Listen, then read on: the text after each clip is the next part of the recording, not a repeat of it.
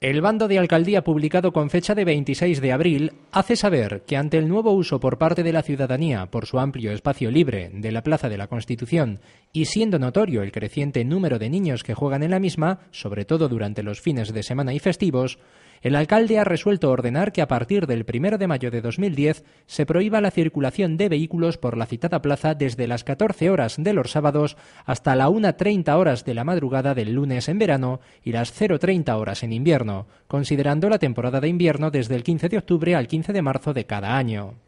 El bando añade que a fin de dar cobertura lo más adecuadamente posible al uso de la plaza durante la temporada estival, se aplicará esta misma medida desde las 20-30 horas de los viernes desde el 1 de mayo al 30 de septiembre, por lo que no se podrá circular entre esas fechas desde la tarde-noche del viernes hasta la una y media de la madrugada del lunes.